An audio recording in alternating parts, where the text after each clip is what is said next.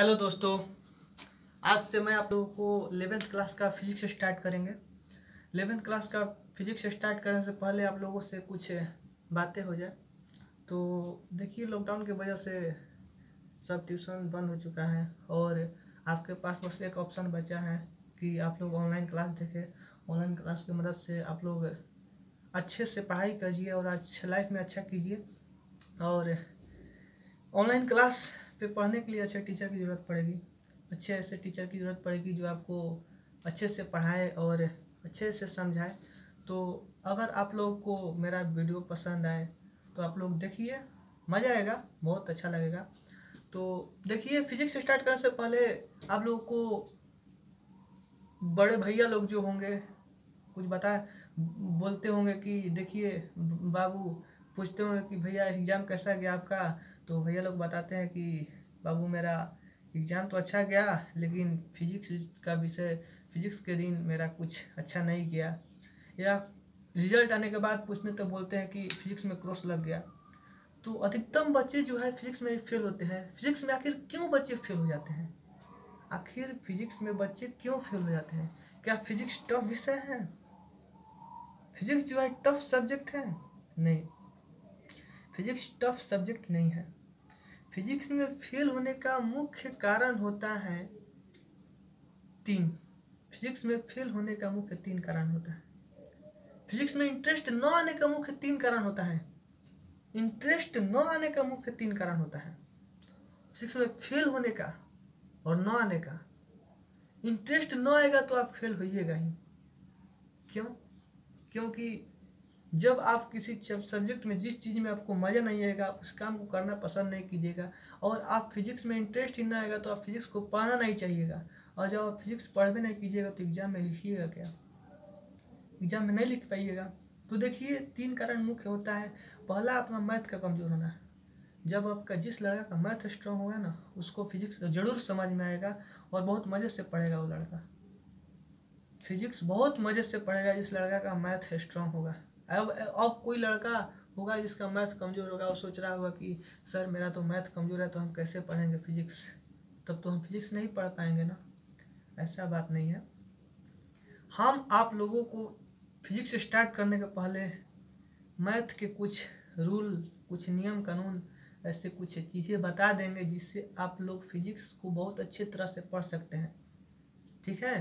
तो अभी first chapter है इंट्रोडक्शन ऑफ़ फिजिक्स ऐसे फ़र्स्ट चैप्टर देखिए भौतिक जगत है फ़िज़िकल वर्ल्ड लेकिन हम इसको इंट्रोडक्शन ऑफ़ फिजिक्स बोलते हैं, क्योंकि किसी बच्चे को यहाँ पर फिजिक्स से इंट्रोड्यूस कराया जाता है।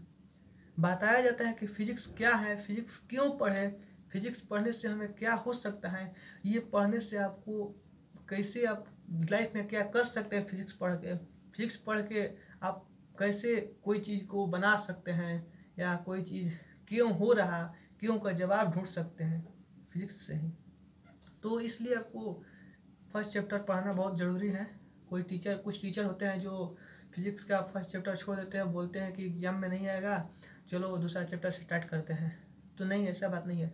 आप लोगों को फिजिक्स का फ़र्स्ट चैप्टर पढ़ना बहुत ज़रूरी है। और पढ़ना ये जो चैप्टर है इंटरेस्टिंग इतना चैप्टर है ना, बहुत मज़ा आता है पढ़ने में।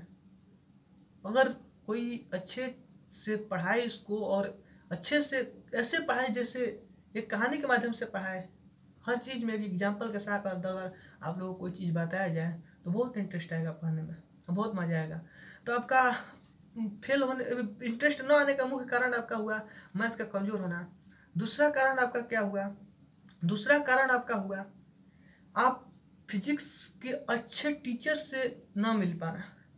अच्छे टीचर से ना मिल पाना मतलब ये नहीं कि कोई टीचर जो है अच्छे नहीं है, उनको कुछ नहीं समझ में आता है वैसे ही कुछ कुछ कुछ लिखवा देते गलत सही पढ़ा देते हैं, ऐसा नहीं है। ऐसी बात यहाँ पर अच्छे टीचर का ना मिल पाना, इसका मतलब ये कि उनका जो पढ़ाने का तरीका है, जो उनका पढ़ाने का स्टाइल है, जो रूल है, उनका पेश करने का तरीका है जो आपके सामने, वो टफ होता है। टफ होने की वजह से आपको लगता है कि इतना हार्ड चीज़ हम कैसे पढ़ जाए, पढ़ पाएँगे? तो हमको समझ में ही नहीं आ रहा कहाँ है, कैसे है। हमको आज तक ये वर्ड को सुन भी नहीं किए हैं, कैसे याद होगा। ये चीज़, सब चीज़ को शुरू से हमको याद करना पड़ेगा। तो ये सब सोचते हैं सोचते हैं और सोचते सोचते सोचते धीरे धीरे पढ़ते पढ़ते इंटरेस्ट हट जाता है और इस सब्जेक्ट को कॉपी उघारने तक का भी मन नहीं करता है कि हम कॉपी उघार के देखें फिजिक्स का कि हाँ पढ़ ले कुछ उसमें। तो ऐसे ऐसे हो जाता है और फिजिक्स के आपका जो इंटरेस्ट है फिजिक्स से हट जाता है, नहीं पढ़ पाते हैं। तो इसलिए आप लोग ऐसे टीचर से मतलब ऐसे भाषा में पढ़िए जिससे आप लोगों को समझ में आए। और हम आप लोगों को बहुत आसान भाषा में पढ़ाएँगे, बहुत मज़ा आएगा पढ़ने में। फिजिक्स बहुत आसान भाषा में पढ़ाएँगे, ऐसे भाषा में पढ़ाएँगे जिससे आप लोगों को लग भी नहीं करिएगा कि हम पढ़ रहे हैं। हर चीज़ में एग्ज़ाम्पल के साथ, हर चीज़ में एक कहानी के माध्यम से समझाएँगे आप लोगों को, बहुत मज़ा आएगा। और थर्ड कारण है, आपका क्लास अब्सेंट करना यदि आप एक दिन भी क्लास अब्सेंट करते हैं ना तो आपके लाइफ पर, आपके पढ़ाई पर बहुत प्रभाव डालता है। अगर आप एक दिन क्लास अब्सेंट किए अब्सेंट किए तो ये एक दिन आपका दो तीन दिन के पढ़ाई डिस्टर्ब कर देता है। ये एक दिन आपका दो तीन दिन के पढ़ाई डिस्टर्ब करता है। आप एक दिन क्लास अब्सेंट किए और दो तीन दिन के पढ़ाई आपको समझ नहीं आएगा। इसलिए आपसे बोलना, बोलेंगे कि आप लोग अगर क्लास करते हैं कहीं भी ऑफलाइन या ऑनलाइन या लाइव क्लास तो रेगुलर कीजिए क्लास सब्सेंट ना कीजिए। ऐसे तो यूट्यूब पर अभी जो आप देखिएगा तो इस पर अब्सेंट से कोई मतलब ही नहीं है, क्योंकि मान लीजिए आज वीडियो डाले तो आज नहीं देखेंगे, कल देखेंगे। आखिर इसी पर ना रहेगा तो इससे कोई प्रॉब्लम नहीं है। ये बहुत अच्छे चीज़ है जो आप लैपटॉप से मोबाइल से, घर पे बहुत अच्छे तरीके से पढ़ सकते हैं। और देखिए फेल होने का मुख्य कारण है आपका फिजिक्स का एग्ज़ाम फ़र्स्ट दिन लेना। जो लड़के नकल पे निर्भर हैं, जो सोचते हैं कि हम नकल करके पास हो जाएँगे, वो यहाँ पर चुक जाते हैं और फेल हो जाते हैं। फ़र्स्ट दिन एग्ज़ाम के दिन सोचते हैं कि कहा पता चेकिन उकिन आ जियो तो पकड़ लिया सन ये सोचते सोचते वो लोग चीट नहीं ले जा पाते हैं। ले जा पाते हैं तो निकाल नहीं पाते हैं। सोचते हैं कि चलो आज देख ले तो। देखना ही में वो फेल हो जाते हैं। इसलिए आप लोग ऐसा न कीजिए, आप लोग पढ़िए इतना पढ़िए कि आप लोगों को कम से कम एग्ज़ाम के समय चीट की आवश्यकता ना पड़े, ठीक है? तो आप लोग को बहुत आसान भाषा में बताएँगे। बहुत अच्छा मज़ा आएगा, चलिए। स्टार्ट करते हैं फिजिक्स। फिजिक्स स्टार्ट करने से पहले साइंस के बारे में जानते हैं कुछ। तो साइंस क्या है? व्हाट इज़ साइंस साइंस है क्या? विज्ञान है क्या? विज्ञान हम क्यों पढ़ें? विज्ञान से हम क्या कर सकते हैं? तो हमको जो चीज़ दिखाई दे रहा ना सब विज्ञान है। बस आपको समझना है कि उसमें क्या है, कैसे है, क्यों है। किसी भी चीज़ में क्यों लगाइए। जवाब ढूंढिए, जवाब मिल गया। जवाब मिला, विज्ञान बन गया। बस, समझे? तो विज्ञान के बारे में जानते हैं। तो विज्ञान देखिए, विज्ञान। विज्ञान।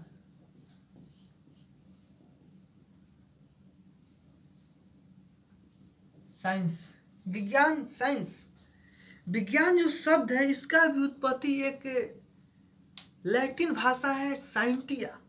एक लैटिन भाषा है, जो साइंस है।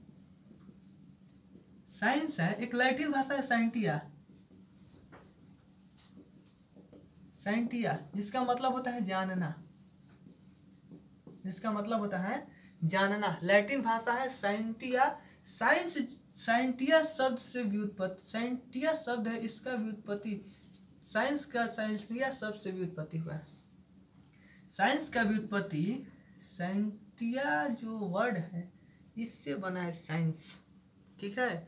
और साइंस का मतलब होता है to know to know science का मतलब होता है टू नो अब देखिए, साइंस का संस्कृत शब्द होता है विज्ञान, जो आज तक हम जानते हैं या पढ़ते आ रहे हैं, विज्ञान। ये साइंस का संस्कृत शब्द है, विज्ञान। ठीक है? तो साइंस का संस्कृत शब्द विज्ञान है। और साइंस का मतलब टू नो होता है। और साइंस शब्द का व्युत्पत्ति होता है, व्युत्पत्ति हुआ है साइंटिया से। और एक बात आप लोगों को, देखिए यहाँ पर स्पष्ट हो जा रहा विज्ञान। विज्ञान, ये संस्कृत शब्द है। विज्ञान जो है आपका, ये संस्कृत शब्द है। मतलब बी जुड़ ज्ञान। बी जोड़ ज्ञान। विशिष्ट ज्ञान। ये आपका नाम से ही स्पष्ट हो जा रहा है, विशिष्ट ज्ञान। विशिष्ट ज्ञान। नाम से ही स्पष्ट हो जा रहा है विशिष्ट ज्ञान। ठीक है? तो आपका विशिष्ट ज्ञान, देखिए हिंदी थोड़ा कमज़ोर है।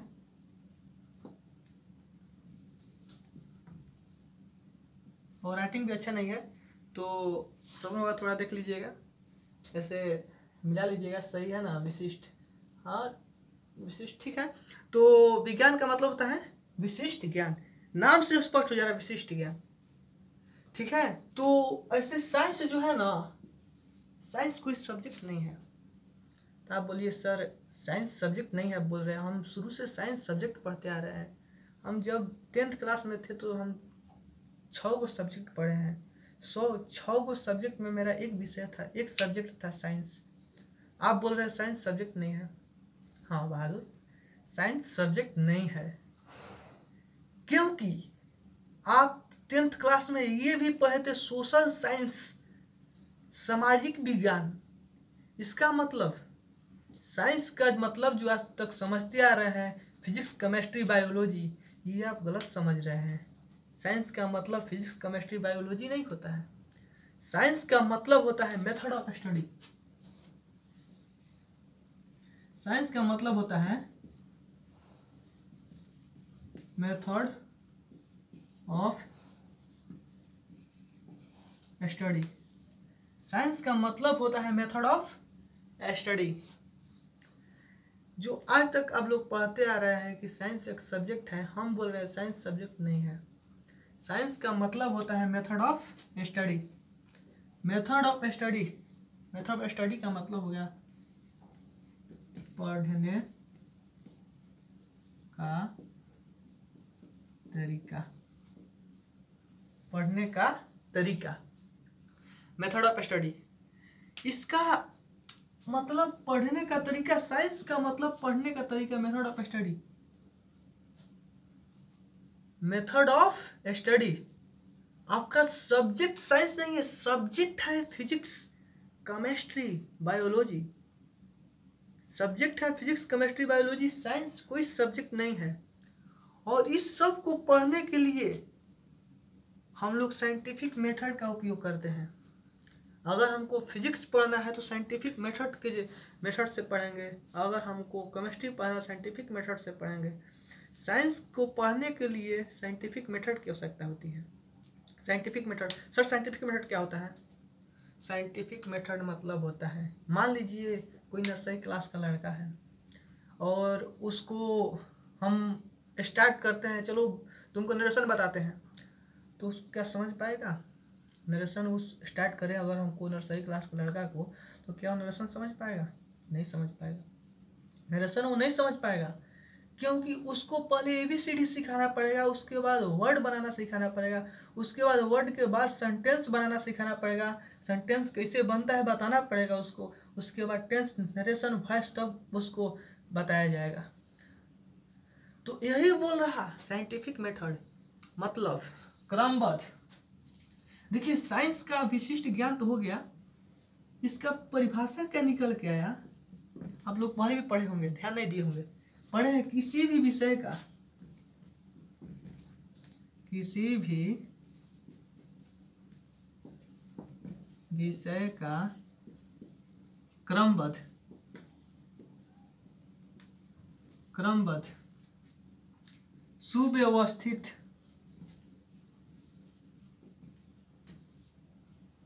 सुव्यवस्थित, क्रमबद्ध, सुव्यवस्थित ज्ञान।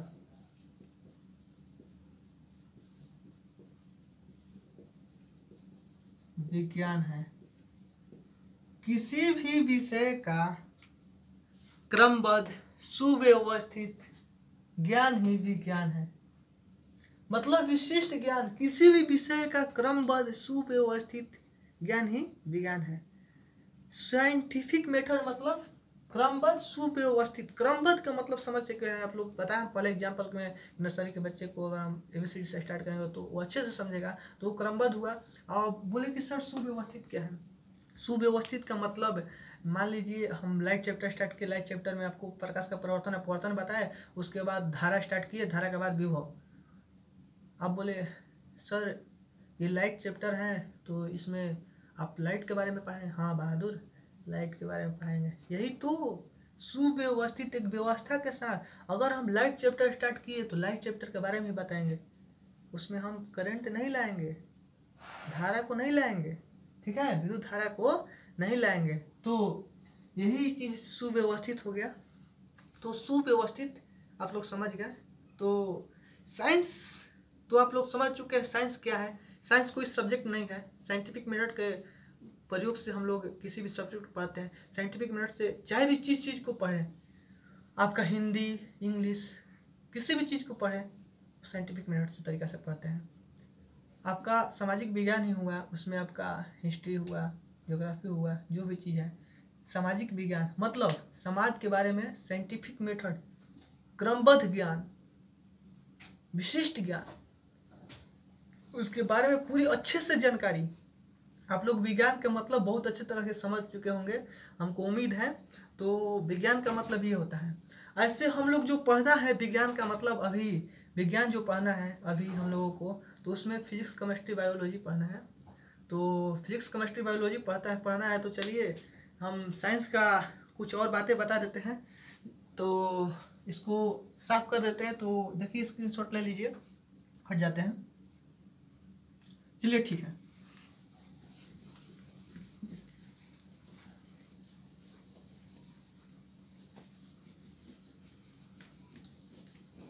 देखिए अच्छा आप लोग साइंस, इंजीनियरिंग और टेक्नोलॉजी के बारे में कभी सुनते होंगे तो सोचते होंगे कि आखिर इंजीनियरिंग क्या होता है? आखिर साइंस, टेक्नोलॉजी, ऐसा लगता है जैसे इस सब में एक दूसरे से सब जुड़ा हुआ है, लेकिन ये नहीं समझ पाते हैं कि सब में अंतर क्या होता है। तो देखिए, आज आप लोगों को अंतर भी बताते हैं हम। तो साइंस जो है आपका साइंस में क्या होता है? देखिए, कहानी बताते हैं। जेम्स वाट थे, वही जो बल्ब का आविष्कार किए थे, आप लोग जानते होंगे। तो बल्ब का आविष्कार जो किए थे, वो बैठे थे अपने घर में और केतली में पानी करके ढक्कन से ढक दिए थे उनको और चूल्हा पर बैठा दिए थे। और ढक्कन वो केतली का जो पानी था, खोलने लगा, खोलते खोलते भाप बना तो देखे कि ढक्कन गिर चुका है। ढक्कन गिरा था तो वो गए और इतना बड़ा कोयला का टुकड़ा रख दिया ढक्कन पर और फिर बैठ गए। थोड़ा देर बाद इंतज़ार किया तो थोड़ा देख रहे देख रहे थे, उसी को इंतज़ार क्या कर रहे, देख रहे थे। तो थोड़ा देर बाद वो भी टुकड़ा के साथ गिर गया ढक्कन। तो इतना बड़ा दो दो टुकड़ा रख दिया उस पर। तो दो टुकड़ा रखने के पश्चात भी कुछ समय बाद वो ढक्कन फिर गिर गया।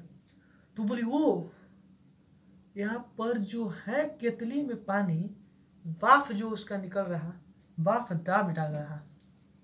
ढक्कन पर वाफ दाब डाल रहा, जितना बल लगा रहे उतना वो तो उधर से बल लगा के वाफ डाल रहा, दाब डाल रहा।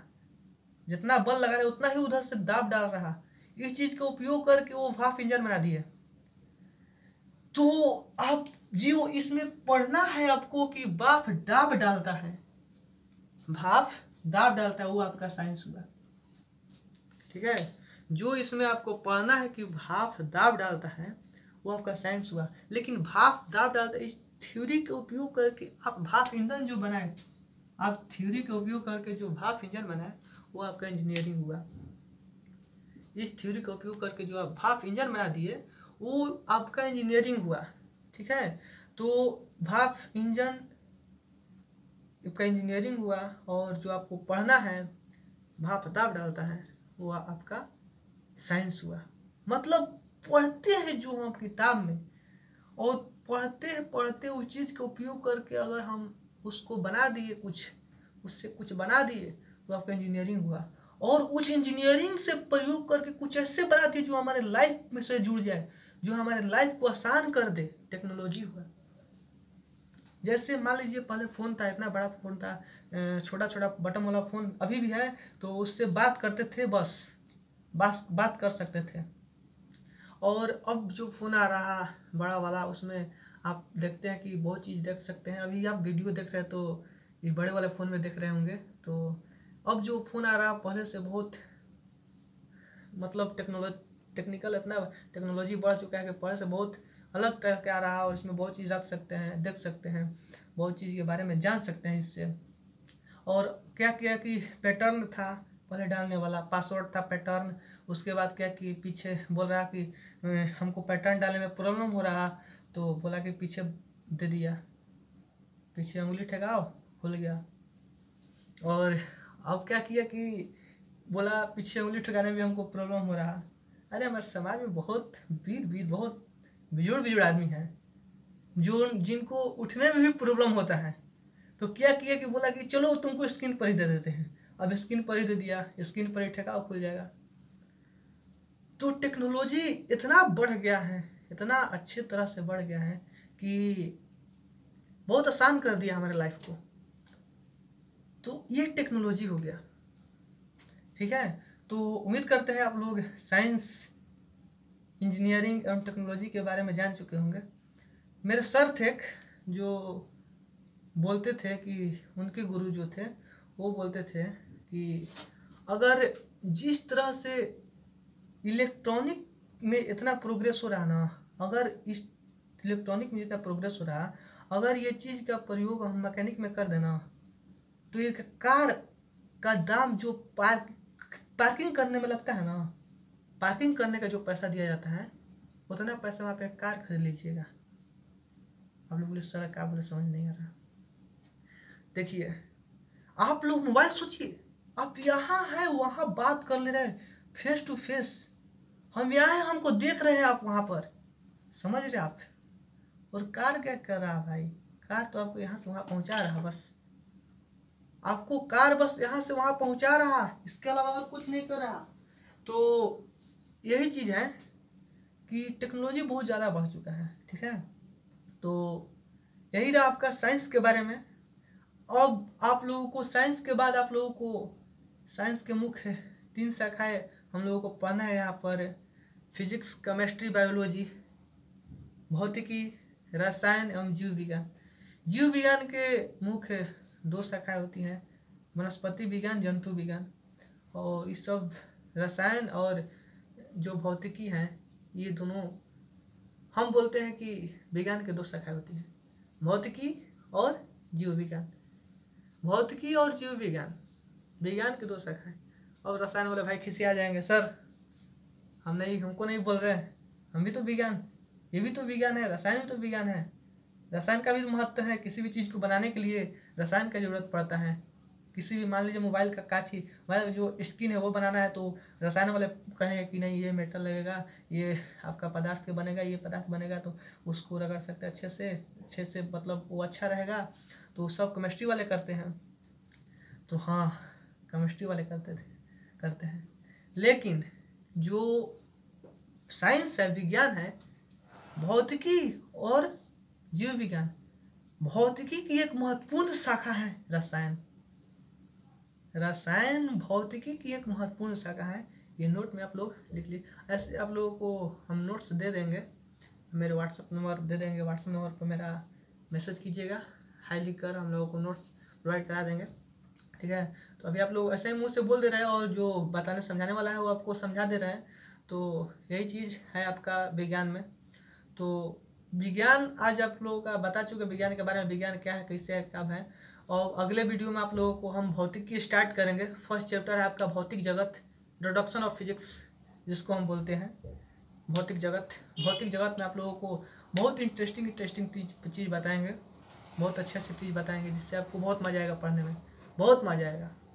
तो चलिए अभी आप वीडियो ज़्यादा लंबा हो जाएगा और आप लंबे वीडियो देखना भी पसंद नहीं कीजिएगा, क्योंकि मेरा ये फ़र्स्ट वीडियो है, ठीक है? तो चलते हैं। अगर वीडियो अच्छा लगे तो एक लाइक लाइक सब्सक्राइब कर दीजिएगा। ठीक है तो फिर।